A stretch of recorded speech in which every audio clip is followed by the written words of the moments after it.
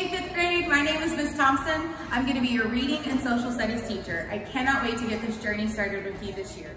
Hello boys and girls, I'm Miss Johnson. I'm gonna be your writing teacher and your science teacher and I can't wait to see you.